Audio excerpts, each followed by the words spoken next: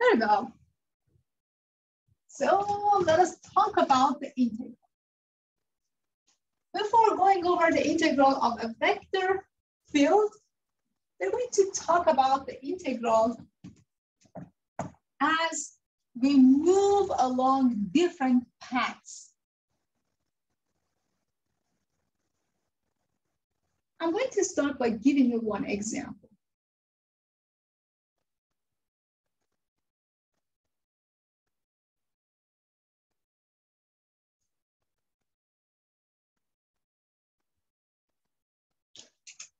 So before writing the formula, the example says, calculate the integral. What is the integral? The integral of 2 cos. Here we have x squared y. And then here we have ds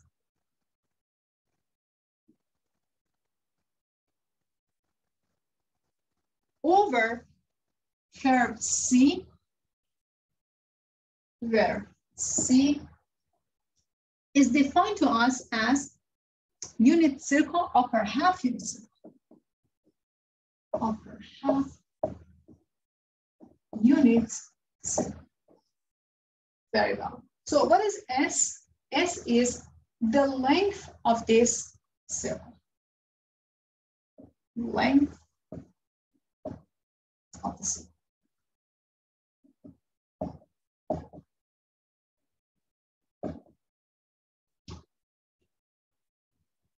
So what do we have here? We have integral of a function and we are moving along a path, which in this case is a curve, upper half circle, and we want to know what is this integral with respect to variable s, s is the length of this curve. When it comes to integrals like this, we have a nice formula. The formula says, let's write down the formula here for you.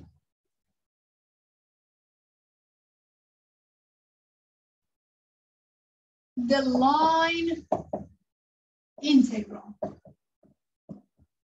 is defined as the integral of a function like f of x and y, f of x and y, ds over curve C. So we are walking over curve C. It is not just an interval. It's not just a nice plane. Here, you are moving along a curve. You're walking over a curve and you want to calculate the integral is equal to. So to calculate this integral, it is equal to, well, here we need to find the relation between x, c with respect to c, and y with respect to c. It is equal to f of, f of, we need to define a third variable because we have one integral. It's not iterated integral, guys. f of x with respect to variable t and y with respect to variable t, y with respect to variable t times the length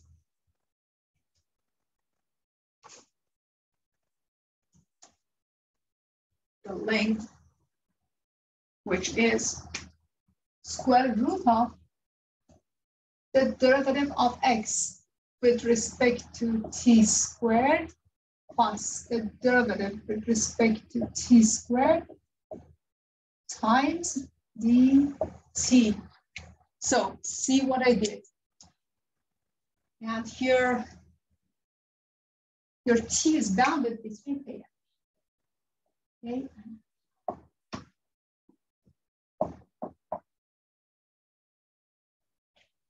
Very well. So what I did, I have a function in x and y, and I have a curve. This is the curve, whatever that curve is.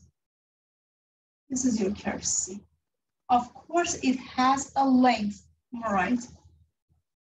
To find the line integral of this function over this curve, we're going to define x and y in terms of a third variable like t. So this is the formula and this is the example that we have.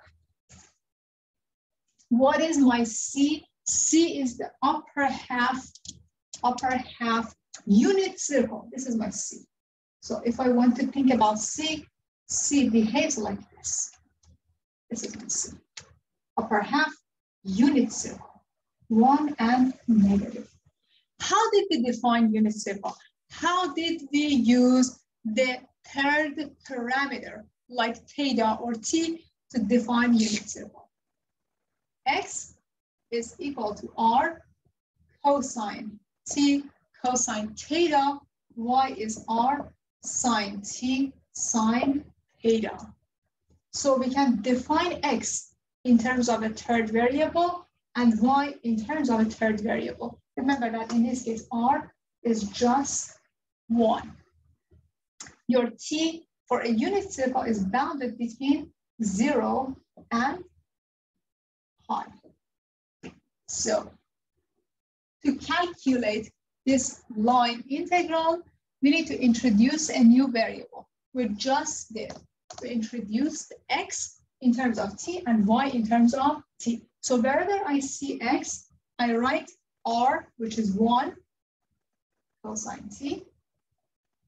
And instead of y, I write sine t. Step by step, we break this integral down into measurable pieces to calculate this line integral, we write x in terms of t, you write y in terms of t. You already know how to write this down. We learned it before. Already know this. So my x is cosine t, my y is sine t. Now substitute. This becomes the integral. 2 plus x squared. x is cosine t plus cosine squared t times y. What is y? Sine t. So let's write this guy next to each other. Sine t. What is the next component? The next component is the length of this curve. What is the length of this curve?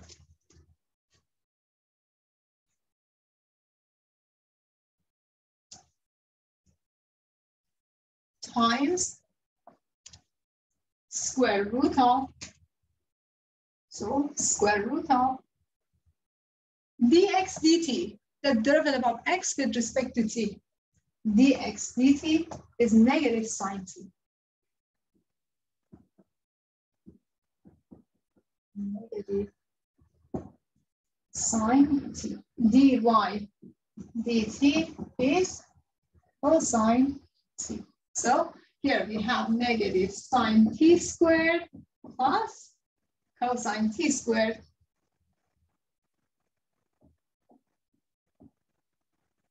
And we know that t, or the angle, changes between 0 and pi, 0 to pi. So this integral becomes an integral in one variable that we can easily calculate. So this integral is now 0 to pi, 2 plus well, sine cosine squared t times sine t, and this is equal to 1. We already know that. times dt. This becomes integral 0 to pi 2 dt plus integral 0 to pi cosine squared t sine t dt. Here we can use u sub. So this becomes 2 times pi plus integral. Can say that, hey, my u is cosine. My du is negative sine dt. So here we get, well, I have negative u squared, negative cosine to the third of t divided by 3. T ranges between 0 to pi. So this guy becomes 2 pi minus a third. Well, if I plug in pi into cosine, I get negative 1 to the third negative 1 minus, well, what I have here, if I plug in 0 for my cosine, let me write this right down, the whole thing, negative 1 to the third minus 0 to the third.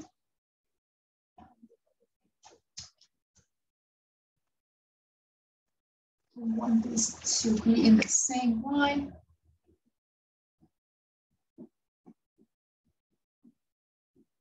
So this becomes 2 pi minus minus 2, which is 2 two, just one. And one minus minus two times.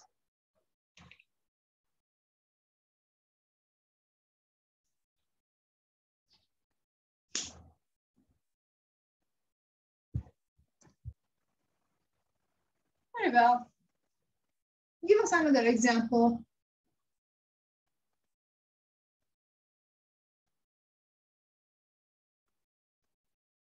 So this is our line integral. That's the formula that we are using. And now we're going to use, we're going to go over another example. How do we use this formula?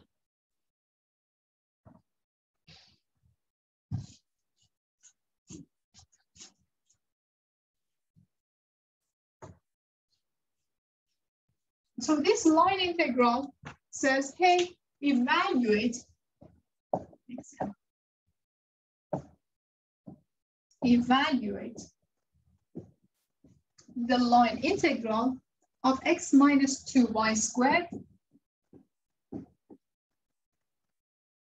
dy over curve C, and C is and C is the arc or part of the parabola is the arc of parabola y equals x squared from negative 2, 4 to 2, 1, 1. 1 and 1. Well, so what do we have here? We have one integral of a function that has two variables. To calculate an integral like this, we need to get rid of one of these variables. Well, you might say, hey, I want to get rid of x or I want to get rid of y. Well, we have to find a relation between x and y. Do we have a relation between x and y? Well, here you can say that I can find a relation between x and y without using t. I don't need t anymore. Why is that? Because x is connected to y and I'm taking the integral with respect to y. y is equal to x squared. And then I can calculate dy, which is 2x dx. So note that in this integral, we have two variables, x and y. They have to get rid of one of them. Since y is equal to x squared, then dy is equal to 2x dx. Substitute all into this integral.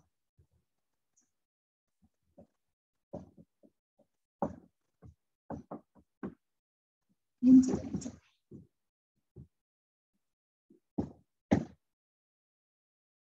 So your integral becomes the integral x minus 2, y is x squared raised to the second power, and dy is 2x dx. 2x dx. But what is the change in your x? x is bounded between negative 2 to 1. X is bounded between negative 2 to 1. Well, I have an integral in one variable. Integral in one variable.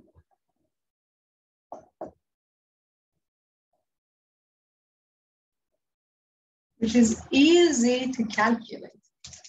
So what do we get? We get integral negative 2 to 1 x minus 2x to the 4. Then I'm going to distribute 2x dx this becomes integral negative 2 to 1, 2x squared minus 4x to the fifth dx, which is easy to calculate. This gives me 2 thirds x to the 3, negative 2 to 1, minus 4 over 6, x to the 6, negative 2 to 1. Well, after calculation, we're going to have 48.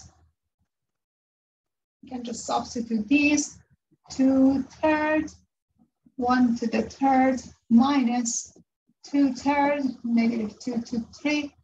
And then here we have minus four over six, one to the sixth minus negative two to the power six, which is equal to 48